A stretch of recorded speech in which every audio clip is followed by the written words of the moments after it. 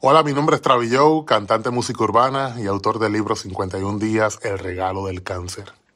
El día de hoy quiero compartir contigo Proverbios 17, 17, la versión Reina Valera 1960, que dice, en todo tiempo ama el amigo y es como un hermano en tiempo de angustia.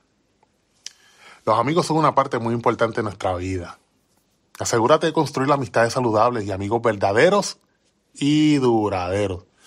Una buena amistad te acompaña en los momentos de felicidad y se convierte en un hermano en los momentos de angustia.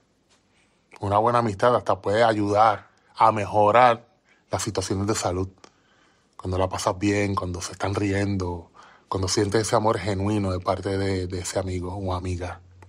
Valora a tus amigos, cuídalos, ámalos, invierte tiempo en ellos, porque un amigo es como un hermano en tiempo de angustia.